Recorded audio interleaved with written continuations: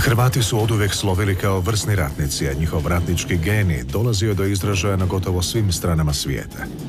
Manje je poznato da su se potomci hrvatskih iseljenika iskazali u kratkotrajnom ratu Argentine i Velike Britanije za Maldive, odnosno Falklanda.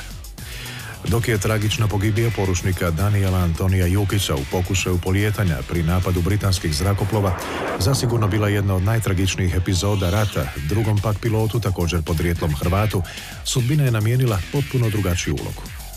Zračni napad koji je na dan argentinske nezavisnosti 25. svibnja 1982. izveo kapetan korvete Roberto Čurilović, zadao je najveći gubitak britanskim invazijskim snagama. Tom prigodom potopio Atlantic Conveyor, najveći britanski u ratu potopljeni brod od kraja drugog svjetskog rata. Roberto Čurilović, rođen u Buenos Airesu 1947. bio je potomak obitelji koja je iz sela Pečurkovo brdo u blizini Duga Rese 1926. emigrirala u Argentinu. Roberto je postao vojni mornarički pilot i kao jedan od najboljih pred sam početak Falklandskog rata određene za obuku na novim francuskim zrakoplovima Super Etendard. Prošavši uspješnu obuku, Čurilović s nadimkom Toro u paru s Julijom Baracom izvoje je najduži argentinski borbeni let u cijelom ratu.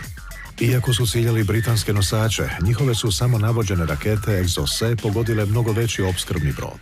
U potapanju broda uništeno je i deset helikoptera te mnogo vojne opreme, a života je izgubilo 12 mornara i kapetan broda. Zanimljivo je spomenuti još jednog argentinskog pilota hrvatskih korijena, Serđa Sepetića, koji je kao član posade izvidničkog zrakoplova uspješno navodio napad Argentinaca u kojem je potopljen britanski razarač Sheffield.